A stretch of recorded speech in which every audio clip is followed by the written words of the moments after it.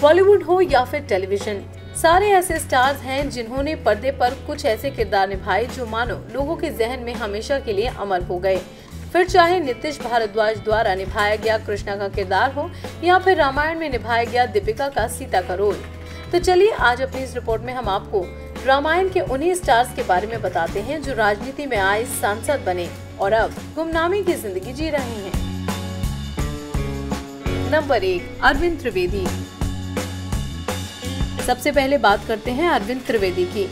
अरविंद त्रिवेदी ने रामानंद सागर की रामायण में रावण का रोल किया था। इस रोल में उन्हें सफलता भी मिली। आपको बता दें कि बहुत कम लोग ये जानते होंगे कि अरविंद ने भी राजनीति में अपना लक आजमाया। लेकिन अब वो कहाँ और क्या कर रहे हैं, इस बारे में किसी को कोई जानकारी नहीं।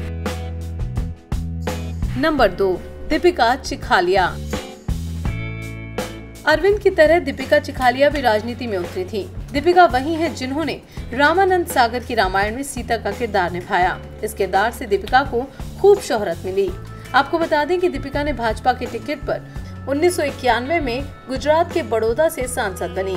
टेलीविज़न के अलावा दीपिका ने बॉलीवुड में भी अपना लक आजमाया। और नंबर तीन, नीतीश भारद्वाज। अब बात करते हैं नीतीश भारद्वाज की। नीतीश ने बी आर चोपड़ा की महाभारत में कृष्णा का किरदार निभाया।